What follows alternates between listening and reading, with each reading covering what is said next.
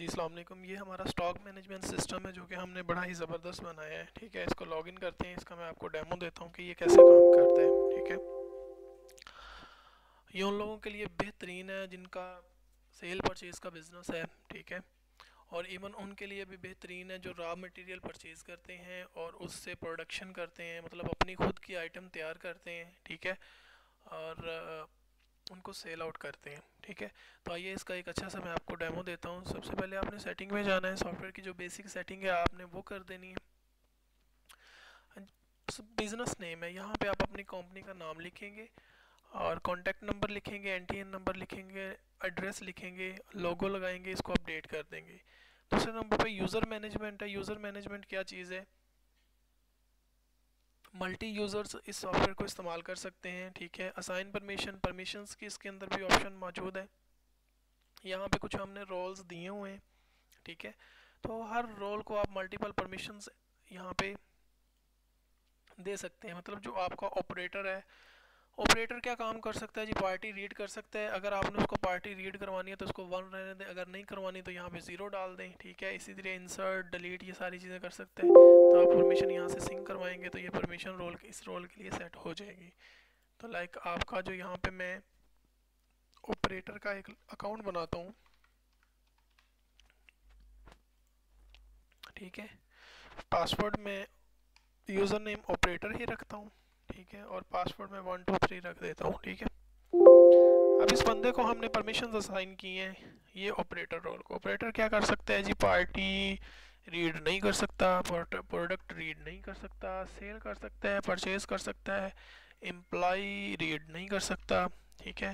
इसी तरह units of और जो ब्रांड है, वो ऐड कर सकता है जी, वो बिल्कुल नहीं कर सकता, ठीक है। ये आपकी मर्ज़ी है। इसी तरह कैटेगरीज ये सारी चीज़ें इसके अंदर मौजूद हैं।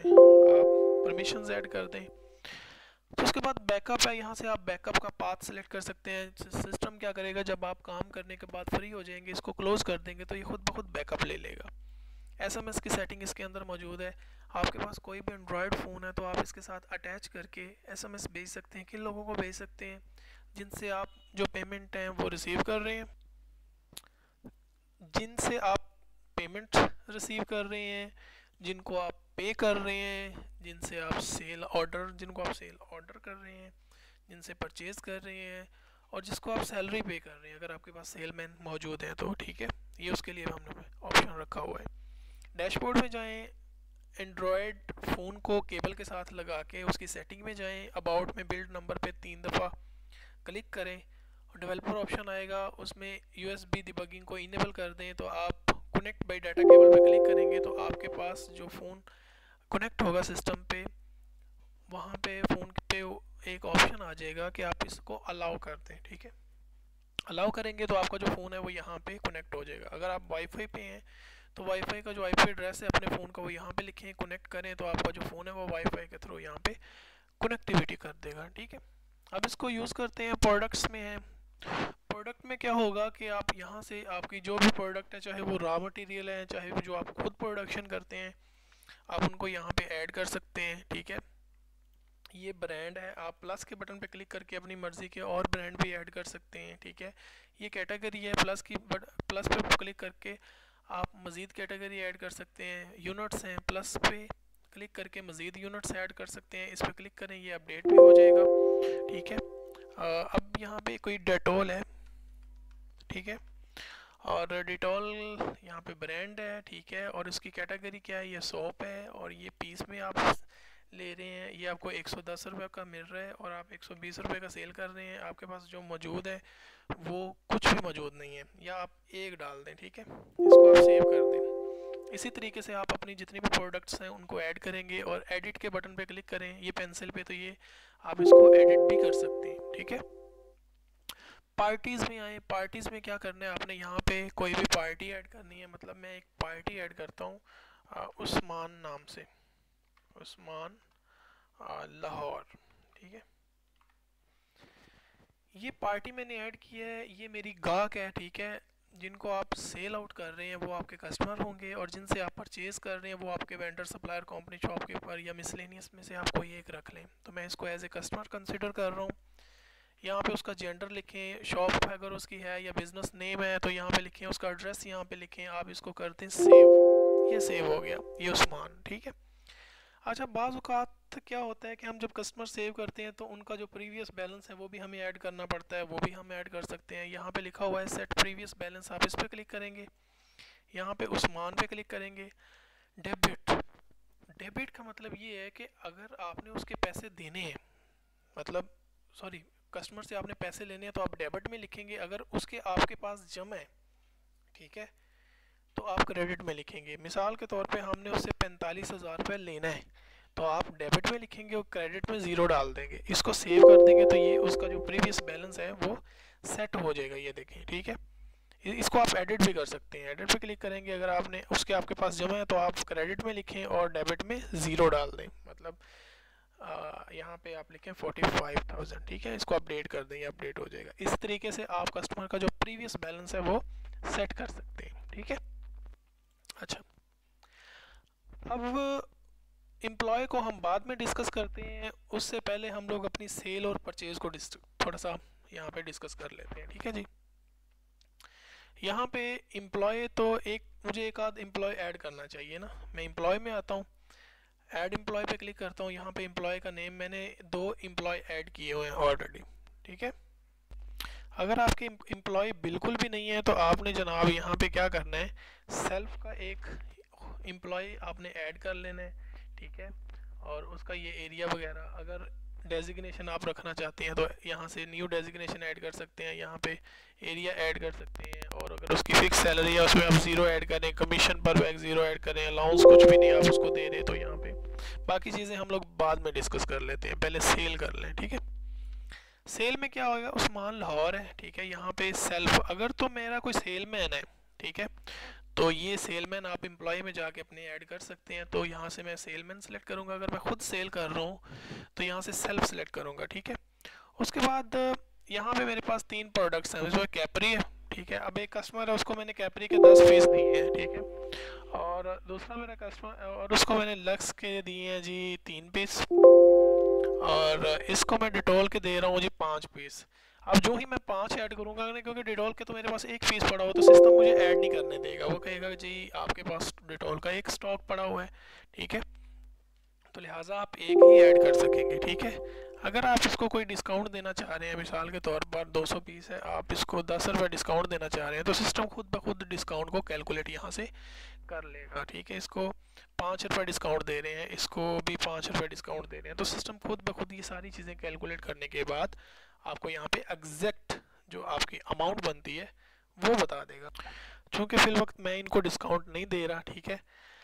अब रसीव अमाउंट में अगर वो कस्टमर आपके पास आपको पेमेंट दे के जाता है मतलब उधार नहीं लेके जाता तो आप यहाँ पे उतनी अमाउंट डाल दें। अगर तीन हज़ार पचपन रुपये आपको दे अगर वो नहीं दो कहता बाद में दे दूँगा तो यहाँ पे आप ज़ीरो डाल के इसको सेव एंड प्रिंट करेंगे तो आपका एक ऑर्डर जो है वो प्रिंट हो जाएगा, ठीक है? अच्छा इनवाइस लिस्ट में जब आप आएँगे तो यहाँ से सर्च करेंगे डेट वाइज आप इसको सर्च कर सकते हैं, ठीक है? अगर आपने इसको दोबारा से प्रिंट करना है तो आप दोबारा से प्रिंट कर सकते हैं। अगर आपने इस इनवाइस को एडिट करना है तो आप इसको एडिट भी कर सकते हैं। मतलब वो कस्टमर कहता है, यार मुझे डिटॉल नहीं चाहिए, आप यहाँ से कैंसिल करें। तो आप इसको ज़ीरो डाल के इसको अपडेट एंड प्रिंट कर दें तो इसमें से वो चीज़ कैंसिल हो जाएगी, ठीक है? अच्छा ये थी सेल आपकी। बिल्कुल इसी तरह हम लोग परचेज़ कर सकते हैं, अगर आप रॉ मटेरियल परचेज़ कर रहे हैं, जो भी परचेज़ कर रहे हैं मतलब यहाँ पे अकरम नाम का एक बंदा है, ये मेरा डेमो सप्लायर है, इससे वाउचर नंबर जो भी रसीद नंबर है, आप ले रहे हैं।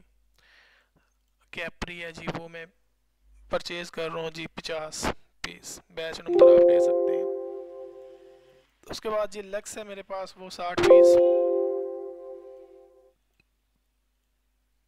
डिटोल है मेरे पास, नब्बे पीस अब इसको अगर इसके साथ मेरा उधार चल रहा है तो ठीक है, अगर नहीं है तो मैं जनाब इसको डायरेक्टली अमाउंट पे कर देता हूँ, ठीक है?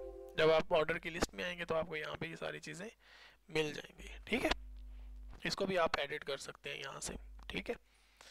अच्छा ये थी मेरी सेल और परचेज अब हम डैशबोर्ड पे एक दफ़ा आते हैं तो यहाँ पे सिस्टम बता रहा है कि आपकी बैलेंस शीट में ये है। ये सारा मतलब सिस्टम आपको बताएगा ना, आपका सेल ऑर्डर एक है परचेज ऑर्डर एक है।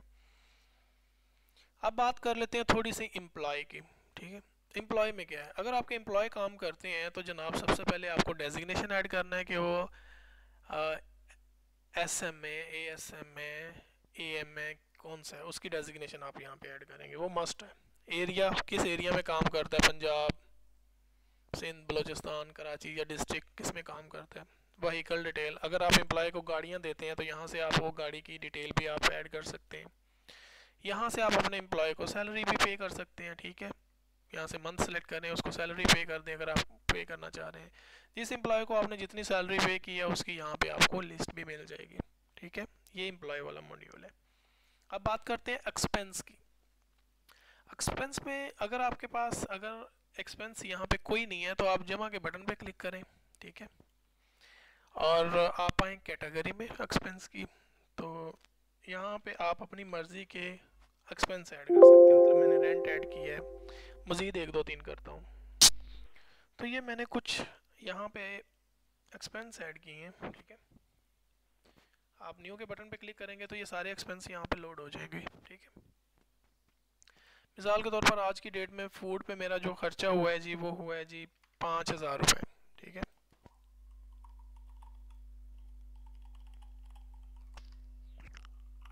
ऑफ़िस के अंदर मेरे एक्सपेंस हुए हैं, ठीक है? आप इसको यहाँ से डिलीट भी कर सकते हैं, ठीक है? ये सारे जितने भी आपके एक्सपेंस होंगे, वो आप यहाँ पे ऐड कर सकते हैं, ठीक है? ये लिखा हुआ है कंज्यूम रॉ मटेरियल ठीक है? अब इसमें ये उन, ये कंज्यूम रॉ मटेरियल और प्रोडक्शन उनके लिए जिनका जिनकी कोई फैक्ट्री होती है, वो रॉ मटेरियल परचेज़ करते हैं। परचेज़ आपने परचेज़ और सेल की दोनों सेम मॉड्यूल वही हैं जो आपको मैंने बता दी हैं। अब यहाँ पे आपने रॉ मटेरियल को कंज्यूम करना है, फ़र्ज़ करें कोई भी रॉ मटेरियल मैं एक दो रॉ मटेरियल ऐड करता हूँ।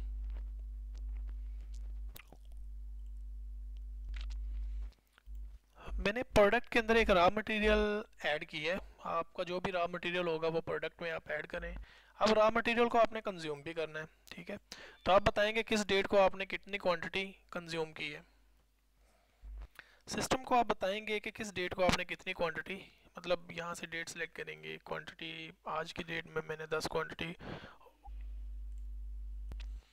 कंज्यूम की है, ठीक है? और यहाँ पे आप कंजम्पशन की जो है, वो डिटेल बता देंगे।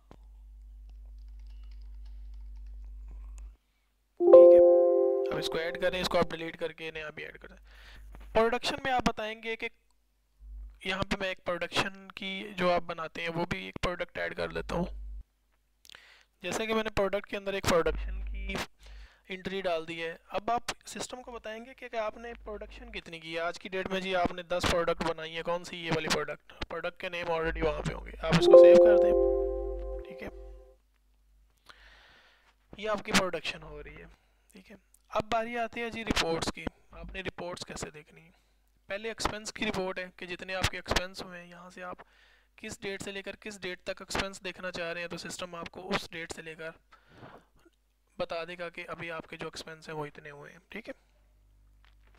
प्रोडक्ट का स्टॉक देखना चाह रहे हैं तो अभी आपके पास जो स्टॉक मौजूद है, वो ये देखें, सारी प्रोडक्ट का स्टॉक आपके पास मौजूद है, ठीक है? उसके बाद एम्प्लॉय की सैलरी में आएँगे कि किस एम्प्लॉय को आपने क्या क्या सैलरी पे की है, ठीक है? यहाँ पे अभी मैंने एम्प्लॉय को, एक दो एम्प्लॉय को सैलरीज पे की हैं तो वो बता रहे हैं, नवंबर का हो गया, अक्टूबर का हो गया, किस किस मंथ की आपने उसको सैलरी पे की हुई है। उसके बाद आप वहीकल की इन्फॉर्मेशन में आएँगे वहीकल इन्फॉर्मेशन आपको बताएगी कि किस एम्प्लॉय को आपने कौन सी वहीकल दी हुई है। ये भी सिस्टम इसके अंदर। बैलेंस शीट उसको बोलते हैं, जैसे आपका रोजनामचा चलता है ना, ठीक है?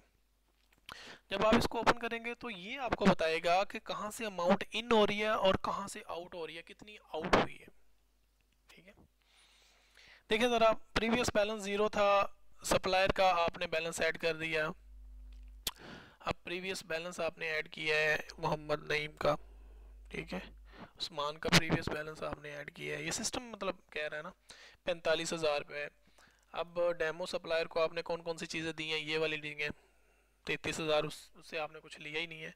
आपके एक्सपेंस भी हो गए पाँच हज़ार रुपये, आप तिरासी हज़ार रुपये आप घाटे में जा रहे हैं, ये पूरी एक बैलेंस शीट आपको बता रही है। ठीक है? अब बात करते हैं कस्टमर के लेजर की। पार्टी का लेजर भी डेफिनेटली होता है ना? मतलब उस्मान लाहौर है तो इसका लेजर मैं देखना चाह रहा हूँ डेट वाइज किस डेट से लेकर किस डेट इसका प्रीवियस बैलेंस ज़ीरो था तो इसने जनाब डेबिट किया है पैंतालीस हज़ार रुपये।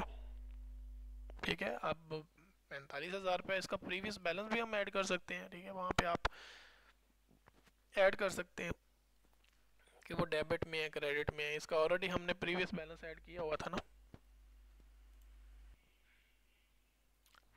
चूँकि इसका हमने ऑलरेडी प्रीवियस बैलेंस ऐड किया हुआ था तो यहाँ पे क्या होगा?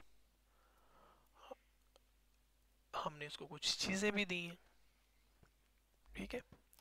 मतलब दस पीस कैपरी के लिए हैं, दो सौ बीस के हिसाब से, तीन पीस लक्स के लिए हैं, दो हज़ार नौ सौ पैंतीस बनते हैं। तो पुराने बैलेंस में इसका ऐड होकर सैंतालीस हज़ार नौ सौ पैंतीस रुपये हमने इससे लेने हैं। ठीक है, ये लेजर ऐसे देखते हैं। प्रोडक्शन में आ जाए कि किस डेट से लेकर किस डेट तक आपने कितनी प्रोडक्शन किया जी? प्रोडक्शन प्रोडक्शन नंबर वन आपकी प्रोडक्ट है वो दस पीस आपने बनाए हैं पंद्रह तारीख को। ठीक है, इसी तरह कंजम्पशन कितनी की है जी? रॉ मटेरियल के दस पीस आपने फ़ूड बनाने के लिए कंज्यूम किए हैं। बिल्कुल इसी तरह आपके जो सेल ऑर्डर्स हैं, वो कितने हुए हैं जी? आपका अभी तक एक सेल ऑर्डर हुआ है जो आपने उस्मान लाहौर को दिया है। टोटल ऑर्डर की वैल्यू इतनी थी रिसीव अमाउंट आपने इतनी की है ड्यू इतनी है। उसके बाद आप प्रोडक्ट की डिटेल भी इसमें चेक कर सकते हैं कि एम्प्लॉय कौन सा है, इस एम्प्लॉय ने लक्स और कैफरी जो है ना, वो तेरह सोल्ड किए हैं। मतलब सोल्ड किए ना प्रोडक्ट वाइज आप डिटेल चेक और इसी तरह कस्टमर की जो आउटस्टैंडिंग पेमेंट है, वो जितने भी आपके पास कस्टमर्स होंगे, वो सारी आउटस्टैंडिंग पेमेंट आ जाएगी कि किस बंदे से आपने कितने में पैसे लेने हैं। ठीक हो गया? ये चीज़ होगी। उसके बाद, आपके पास यहाँ पे आ जाएगा सप्लायर वाला, कि किस सप्लायर को आपने कितने पैसे देने हैं, ये आ गया। ये उसकी लिस्ट आ जाएगी। अब इसमें पेमेंट्स का ज़िक्र करना मैं आपको भूल गया तो पेमेंट्स के बारे में भी बताता चलूँ। जब आपने किसी बंदे से पेमेंट रिसीव करनी है तो आप यहाँ से रिसीव कर सकते हैं। मतलब आप देखें, यहाँ पे कस्टमर की आउटस्टैंडिंग पेमेंट है, सैंतालीस हज़ार नौ सौ पैंतीस रुपये हमने उस्मान से लेने हैं। तो यहाँ पे उस्मान सैंतालीस हज़ार रुपये आपने ले लिए ऑनलाइन ठीक है? आपने ले लिया जी। आप पे, पेमेंट की हिस्ट्री में जाएँगे ना बंदा सेलेक्ट करेंगे तो उसकी सारी पेमेंट्स जो आपने ली होंगी वो आपके पास आ जाएँगी। अब दोबारा इस बंदे का आप लेजर चेक करेंगे ना या इसकी आउटस्टैंडिंग पेमेंट चेक करेंगे तो नौ सौ पैंतीस रुपये बकाया बचेंगे। ठीक है? अच्छा। उसके बाद पेमेंट्स जब आपने पे करनी है किसी को तो यहाँ से आप पे भी कर सकते हैं क्योंकि अपने सप्लायर को आप पे करते हैं ना जिनसे आप माल उधार लेते हैं। ठीक है? उसके साथ साथ वो बंदे जिनको आप जिनसे आपने पैसे लेने हैं, वो यहाँ पे आपके पास आ जाएँगे। किन बंदों से आपने कितने पैसे लेने हैं, ठीक है? तो यहाँ से जनाब आप उनको मैसेज का रिमाइंडर भी दे सकते हैं, भाई आपके, हमारे पास इतना बकाया जाता है, आप पे करें। एंड्रॉयड फ़ोन यहाँ पे तीन सेकंड का डिले हो जाए, हो जाएगा तो यही एस एम आपके सेंड हो जाएँगे। मतलब मैं यहाँ पे सेंड पे क्लिक करता हूँ तो चूँकि मेरा फ़ोन अटैच नहीं है तो इसीलिए ये जो है ना, काम नहीं करेगा, ठीक है? अब डैशबोर्ड पे ये देखें। आपका इस महीने में पाँच हज़ार रुपये खर्चा हुआ है। छत्तीस हज़ार रुपये घाटा मतलब है जो आप जा रहे हैं। कस्टमर के ड्यूज़ हैं, नौ सौ पैंतीस रुपये आपने एक कस्टमर से लेने हैं। जितने कस्टमर के बकाया जात होंगे, वो सारे ड्यूज़ में आ जाएँगे, ठीक है? अगर आप ये सॉफ्टवेयर बाई करना चाहते हैं तो हमसे कांटेक्ट करें, ठीक है? कांटेक्ट नंबर दिया हुआ है। डिस्क्रिप्शन में भी दिया हुआ है और टाइटल में भी दिया हुआ है। यहाँ से आप पासवर्ड भी चेंज कर सकते हैं इंडिविजुअल, ठीक है? अब आपको ऑपरेटर के लॉगिन से मैं इसको लॉगिन करके दिखाता हूँ, ठीक है? मैं इसको ज़रा ख़त्म करके ऑपरेटर का लॉगिन यूज़ करता हूँ। ये देखिए ऑपरेटर था, इसका पासवर्ड वन टू थ्री था। प्रोडक्ट पे क्लिक करूँगा तो वो कह रहा कह रहा you have no rights to access this page party के भी राइट्स नहीं है। एम्प्लॉय कर सकते हैं सेल कर सकते हैं परचेज कर सकते हैं पेमेंट्स ले सकते हैं, बाकी सारे काम कर सकते हैं, ठीक है? तो ये काम। थैंक यू सो मच अल्लाह हाफिज़